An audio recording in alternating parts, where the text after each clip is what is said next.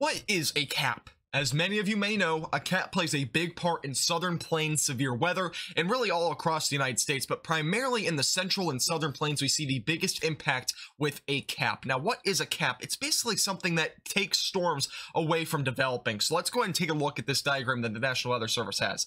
You can see on the left side of your screen with a cap. That's basically what it's showing with clouds. Now, when there's a cap in place, which a cap is basically a temperature inversion in the upper atmosphere, right around two mile, one to two miles up in the atmosphere, which is about five to 10,000 feet feet. You can get the general picture that there's warm air at the surface. let's say the surface temperature is 75 degrees Fahrenheit. Let's say when you go up in the atmosphere, let's just say you're at 8,000 feet, it's 60 degrees. And then all of a sudden, when you get to 10,000 feet, the temperature is all of a sudden 65 degrees Fahrenheit. What does that mean? Well, there's obviously that means there's a temperature inversion, which that temperature inversion will keep clouds from developing up anywhere from 5,000 to 10,000 feet. That's where the clouds are being peaked at, which is 10,000 feet. Now, if the cap is overcome, let's say the surface temperature goes to 80 degrees, and let's say this temperature here is like 68 degrees, and let's say this temperature is still 65 degrees. Let's keep that constant. If we go over here to you know, the right side of the screen, you can see there's no cap. And that's basically what that means, is that the cap was overcome by the surface temperature and the temperatures in between 0 to 10,000 feet in the atmosphere. And then you can see that clouds will build up, and eventually we can see supercell storms develop, depending on if there's an initiator for those storms to develop, which means there have to be like a dry line, a cold front, an outflow boundary, that sort of thing would have to be issued or basically needed for a cap to be overcome. Let's go to another example. This is a sounding from the National Weather Service, which they launch a weather balloon every morning. This is at 7 in the morning on April 12th of 2022.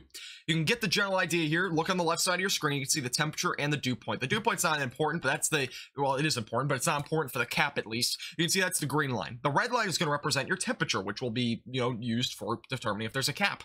Well, you can see at the surface it's 75 degrees Fahrenheit, which is about 25 degrees Celsius or so.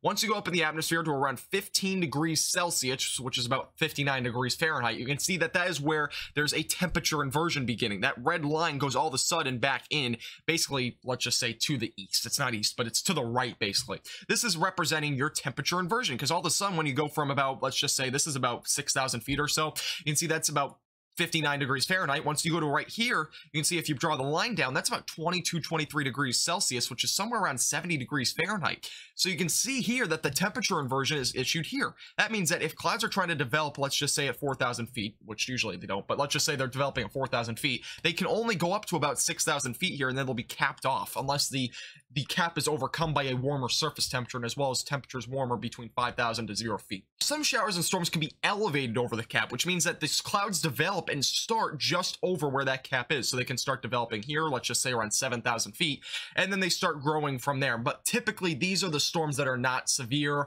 and most of the time there might be some hail, like small hail, but nothing much more beyond that in most cases with elevated storms. Let's take a look at the future radar in terms of a cap. Now, this is the CIN, which is going to represent the cap in the atmosphere on a future radar scale, though. So sometimes this is accurate. Most of the time, it's pretty close to accurate, but obviously it's not always accurate. You can see all the reds, purples, yellows.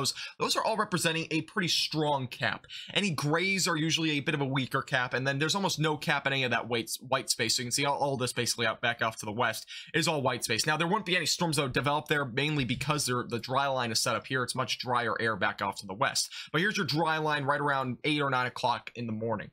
Eventually, as you go throughout the afternoon, this is pretty much close to lunchtime, you can see that all of a sudden, there's a cap area that starts to weaken, and this is in western DFW and central Texas. That white space can represent where those storms can develop right along that dry line, which is right here. So you can really expect storms to probably develop right in this area here, probably right around, you know, 1, 2, maybe 3 o'clock in the afternoon.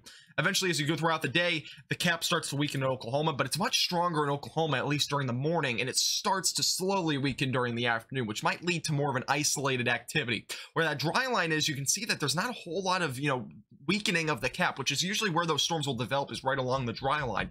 So you can see that there's really right here, it's a pretty still a pretty strong cap, so we might not see any storms there. As you go throughout the afternoon, you can see the cap is much weaker here in North Texas, and eventually it starts to try to weaken in Oklahoma, but it's not weak completely. So what we can take from this is basically, if I made a prediction, and obviously I've probably already seen the computer model, but if you make a prediction on where those storms will likely develop, here's your dry line again, or not right there. So here's your dry line right here. It goes all the way through Oklahoma and whatnot. You can see that this is where the storms will probably develop initially. And then eventually back out here to the north, there might be a few isolated storms in Oklahoma that might develop, but that would be probably about it. So let's get a general idea of what the future radar shows for us. It Might be a few, uh, but again, those little blue specks are going to represent your elevated showers or maybe even a storm, but they are usually not severe. As you get throughout the afternoon, you can see those storms start to develop here across southwestern DFW and southwestern North Texas into central Texas. Not a whole lot in Oklahoma, but a storm or two might enter Oklahoma, and then eventually these move out to the east. But you can get the general idea. Again, that's where they develop, is where those circles that I just drew are, because the cap is a lot weaker in those locations. Hope you learned something this from this video. If you did, make sure to subscribe to our YouTube channel. Make sure to follow us on Facebook.